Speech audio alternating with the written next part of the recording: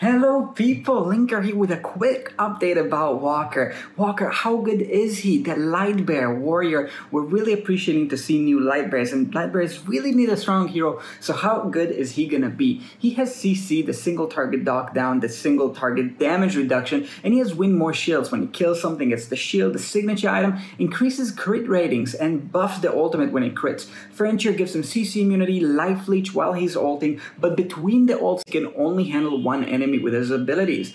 Overall, really depending on his scaling, but we know Lightbearer Warrior scalings are traditionally bad, and we know self-scaling carries are hard to pull off. Did you see the last predictive tier list? We know that they demand a lot of investment to work in high deficits, so I predict outside of some Alna clutch sets, he'll be underwhelming. I'm working on the tier list and other projects, so like and subscribe if you want to catch that. I hope you appreciate this quick update in the meanwhile, and I hope you're doing well. I've been Linker.